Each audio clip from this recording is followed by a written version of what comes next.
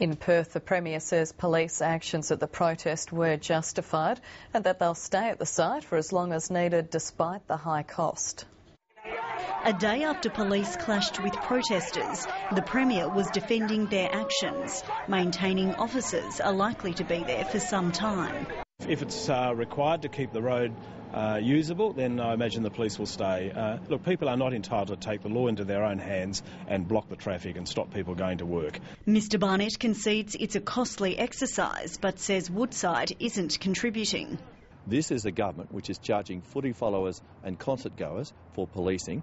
If they're going to apply that rule to footy fans, they should apply it to Woodside as well. Colin Barnett was also feeling the heat on Talkback Radio. I'd like to ask you to resign actually as our Premier because I feel so ashamed. How could it be seen as being self-determination with the threat of compulsory acquisition looming over their head.